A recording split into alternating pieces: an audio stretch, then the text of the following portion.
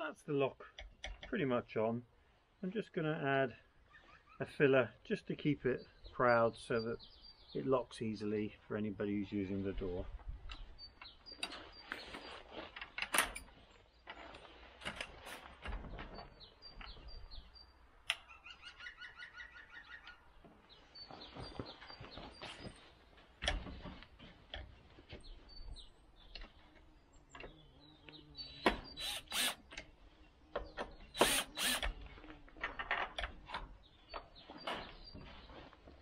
Job done. So for the last couple of days I've been intending to do a bit of pricking out. This is the Celeriac Monarch I planted on the 5th of February and there's oh, a good dozen plants in here have come on really brilliantly and these are quite important to me because I'm really looking forward to Celeriac this year.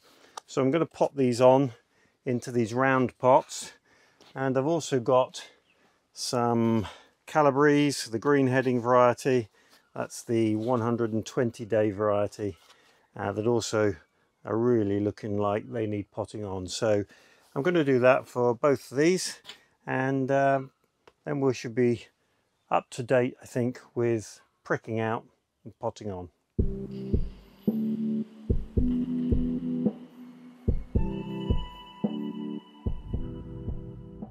So this is when space really becomes challenging because in reality I want to use the bed but I've got a lot of ceilings there and it's just a waiting game now.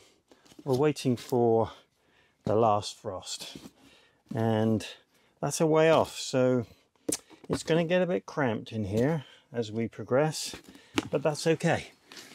We're used to that and we can overcome it.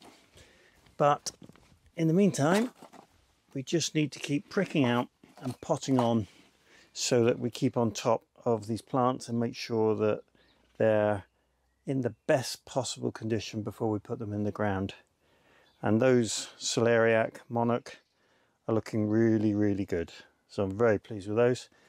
And the Calabrese potted on, you can pot these as deep as you like and I've tried to get the roots right down into the bottom and they'll soon perk up once I give them more water.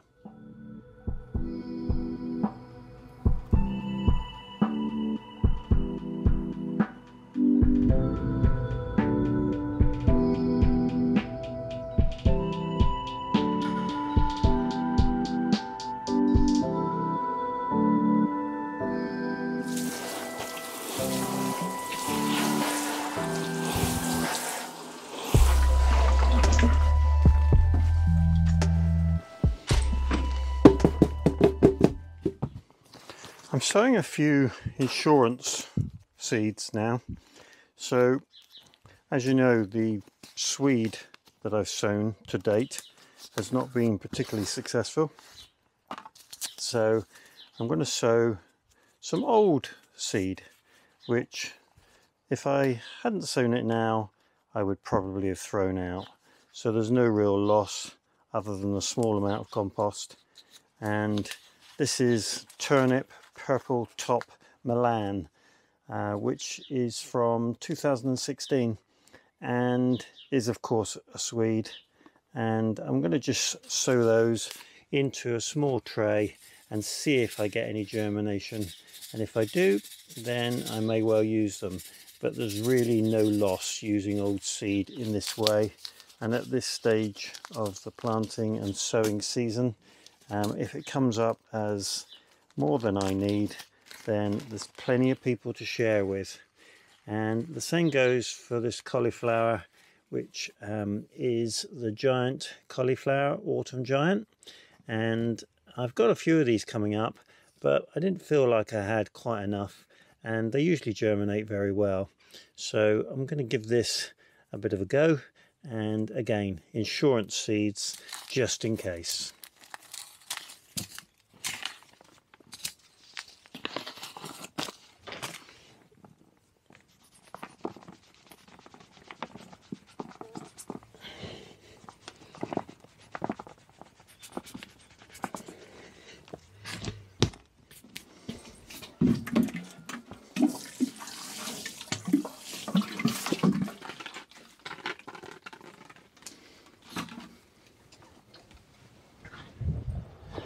This is the bed that I took the strawberries out of and the strawberries now potted up into trays and doing just fine. But because I had strawberries in here so late, it meant that this area never had any mulch. So I'm going to do some mulching now while the air's damp, we've got a bit of rain, and hopefully that'll settle in before I grow anything new in here.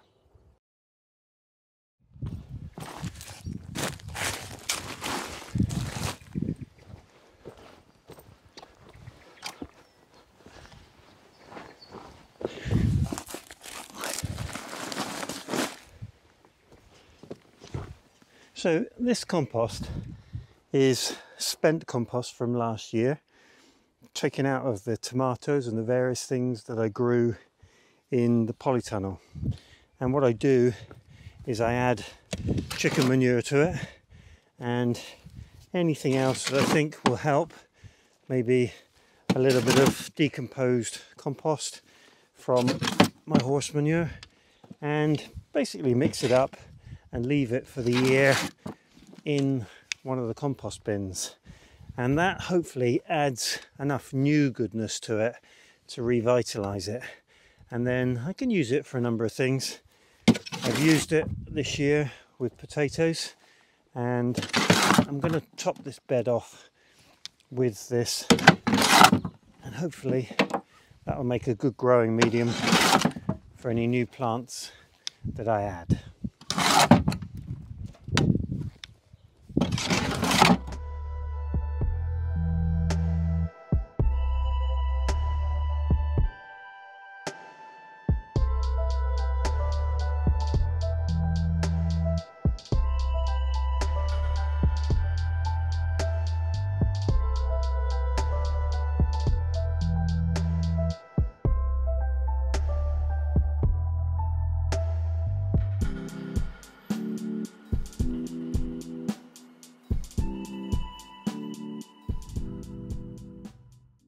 The other day when I was looking at the strawberries in here, I noticed these two plants seem to be dying back. And it's a toss up at the moment. There seems to be brand new growth coming from the middle. So I think I'm just going to clear the leaves off and keep my fingers crossed. There's another couple looking the same. I think they probably just suffered from the move and we'll keep an eye on them but I am going to take the dead leaves off.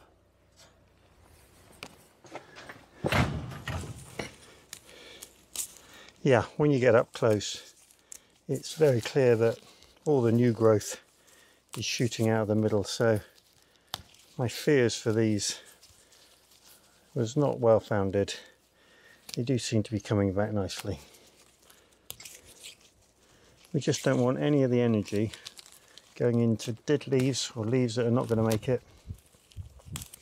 I want it all going into the new growth. Everything else in here looking good, including the plants that are just in the pot holding on in case I need them.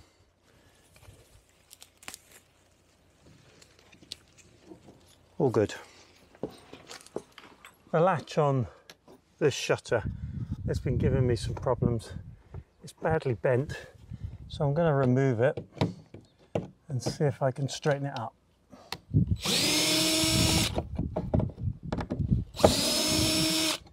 Well, it was a great plan, but this screw here that I put in is a security screw. So you try and put a screwdriver on it and it just slips continuously. It's extremely effective. It means that nobody can remove the fitting, including me. So I need to get my head around quite what I'm going to do to get that one out. Probably a pair of pliers and a lot of brute force. So I think that's going to have to wait until I've got some additional tools. In the meantime, I'll close it up and it can just hold in place.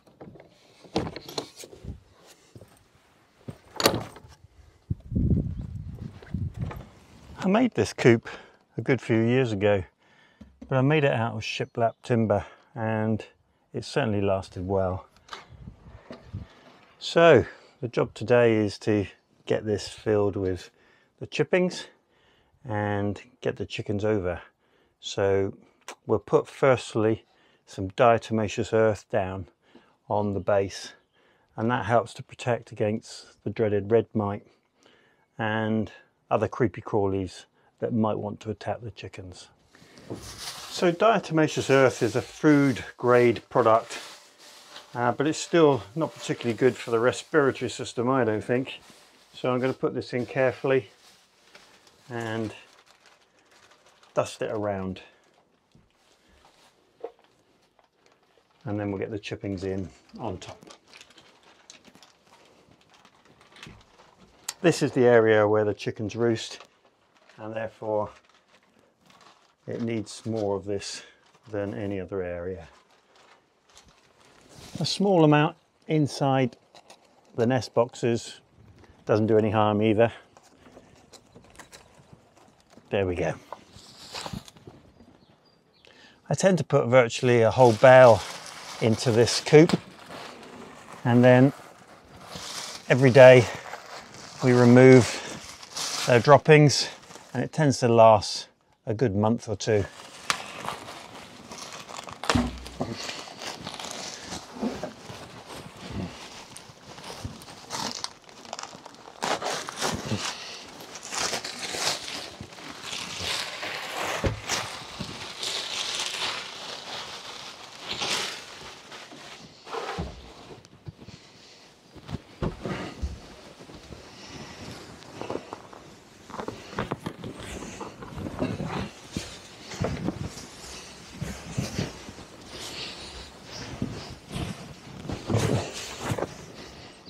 One of the things I really enjoy doing is taking these covers off.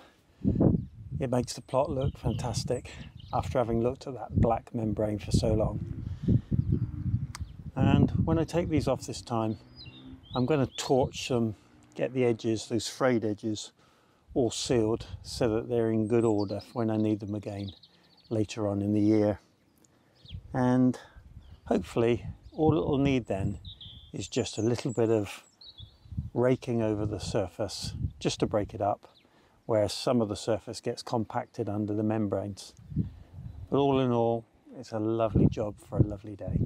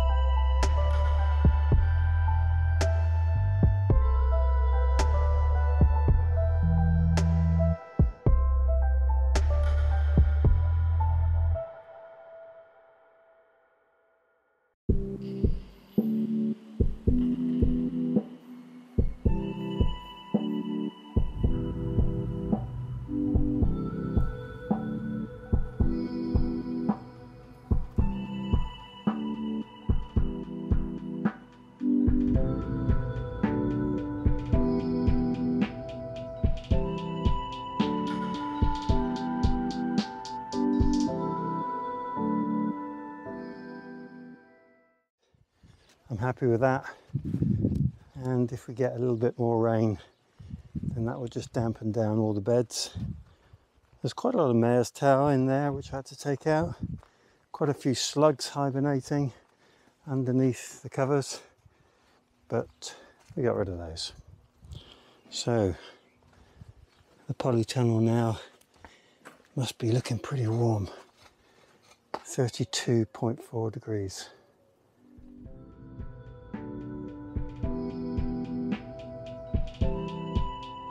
Okay, so we've lined the doors up, put a little makeshift frame around them, and we got ourselves an exit and an entrance. Just a ramp to go now. I do think I finished. So this is their bridge out and they'll come straight out the back of the coop. So hopefully we can now get the chickens across and see if they see it the same way as I do. We'll see.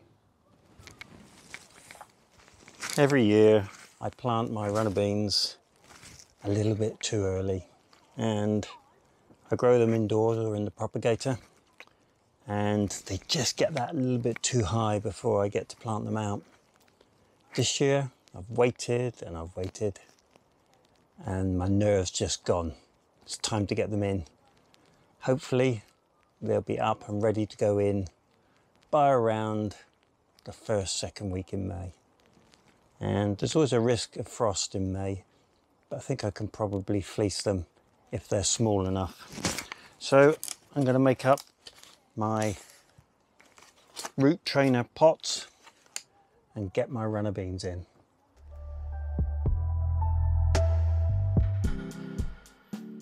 So my runner beans this year are going to be the same as last year and the year before and the year before that. Because when you find something you really like you tend just to stick with it. And I've taken that a step further. I now save my own seed from my beans and they come year on year without any problem at all. And these beans are called Czar originally from real seeds and they're a wonderful runner bean the seed is white and the flowers are white and they're an extremely successful bean. I'm also going to grow this year just a few that came free on a packet and this was on the front of a magazine and this is called Crimson Flowered by Thompson Morgan. So it's going to be interesting. I'm certainly going to know which are which because the white flowers versus the pink flowers. So I'll get on and sow those into the root trainers. I get the bean reasonably deep because I want the root to be nice and strong and stable inside the root trainer and then they make for easy modular planting. Well, all that leaves is for them to be watered in and hopefully those beans will be coming up soon.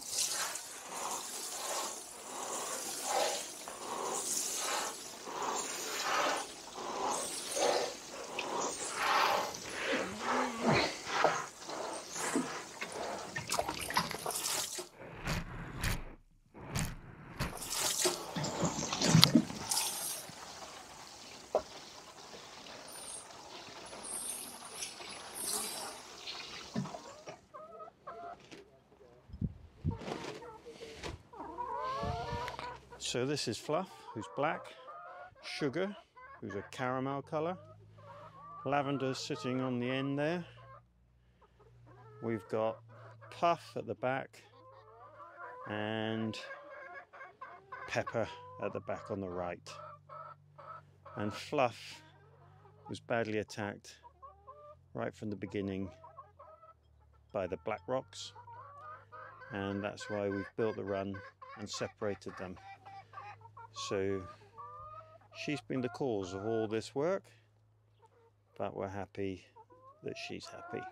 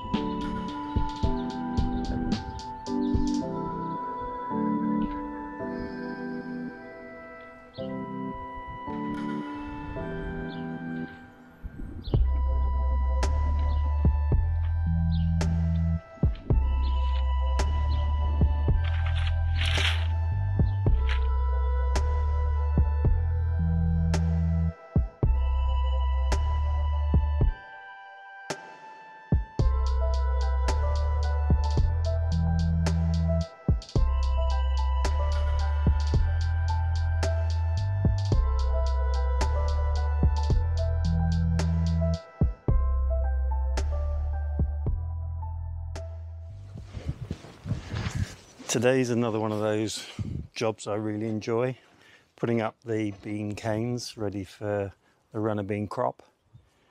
And I was watching Liz Zorab, her channel the other day, and she was showing the various methods of putting up your bean canes and other structures, which was very informative. It's a great channel.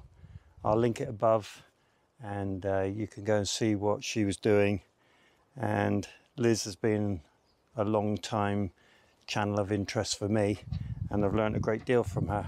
I'm sure you will too. So today I'm going to get these bean canes up. It's a beautiful April day.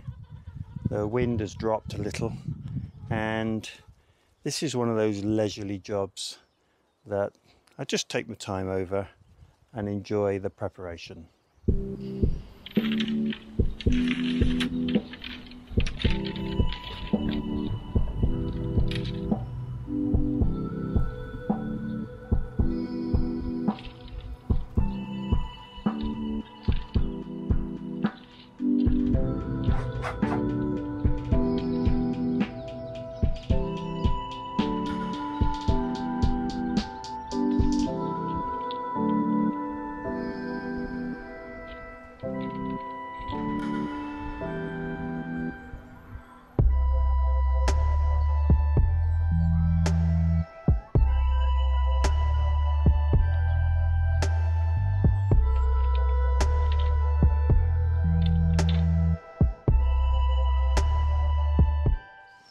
So this is my preferred method of putting the canes up. Last year I tried wigwams and as Liz said, they do blow over fairly easy. You would think they'd be very strong, but they do seem to suffer from blowing over. And this method, there is some risks, but generally it works well. So I put them all in about a foot apart in as straight a line as I can and leaning out slightly so that when you cross them over to tie them, they're under a bit of tension. And that's the next step for me. Tie them all at the same point, hopefully in the middle of the bed. It does make sense to come around the highest part of the slope and then it's certainly easier and less far to reach. So what I'm trying to do here is get some canes together so that I can get the ridge cane straight. So if we do every third, something like that, then I can make sure that I get it straight from the get-go. And then I can have all the other canes follow that line, which makes life easy. It's always a bit of a faff trying to tie them high up. And we need to make sure they're nice and rigid.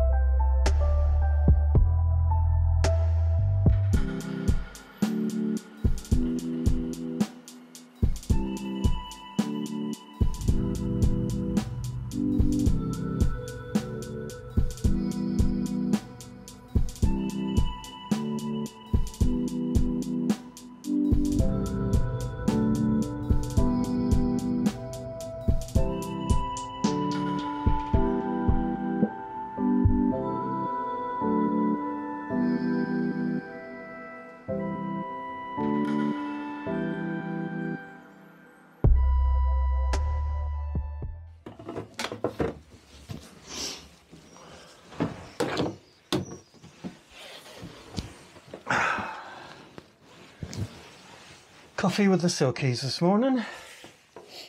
Well, it's been beautiful out there today, and I've enjoyed putting the canes up.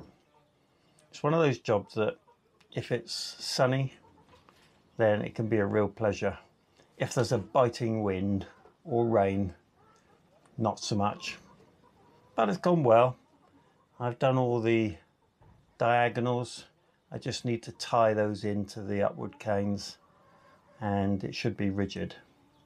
Now we had some serious wind last year in the middle of the season. The canes were full of leaf and the wind got up really high and it took three of the wigwams that I'd set up over to about 45 degrees. It didn't damage too much, but I never got them straight again. So what I am going to do is from the ends of the structure, I'm going to run a very strong twine down to the base and make sure it's fixed nice and tight just to give it extra rigidity and that should do the job. Cheers.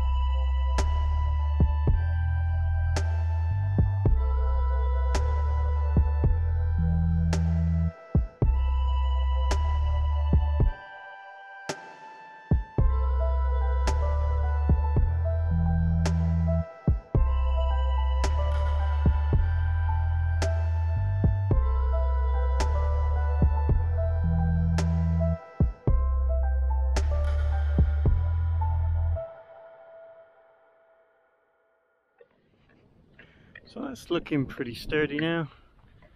That will probably hold up to most wind that we get. I've always been surprised how strong the wind gets up here and hopefully it'll do the job.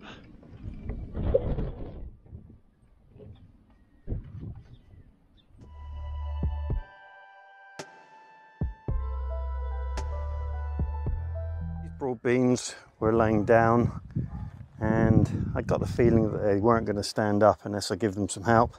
So I've put some canes in and just tied them gently. Hopefully we won't have too much strong wind now. The forecast is it lightens a little over the coming days. So I'm looking forward to seeing those stand up and gain a bit more strength.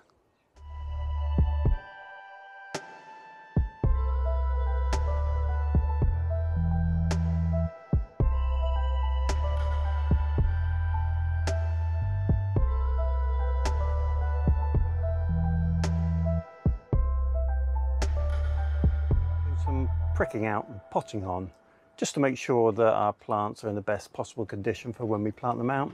We're playing that waiting game still to a frost-free period and some of the plants get a bit root bound and don't do their best if they stay in small pots so it's worth potting them on if you've got the compost and you've got the time. So we've pricked out and potted on these two tomatoes that were in a tray of six where four of the spaces hadn't worked. And the best of all Swede that were in a tray of 24 so we've got the best six out of that. And over here we've potted on all the sprouts and the Norfolk purple turnips. So that'll help a great deal. Those plants will do well now. And when I get to put them in they'll have a really good start I do hope you enjoyed the video today. If you did, click the subscribe button, click the like button, and if you want updates from me each time I upload a video, click the bell and select all. I do hope you have a great day. Diolch yn fawr.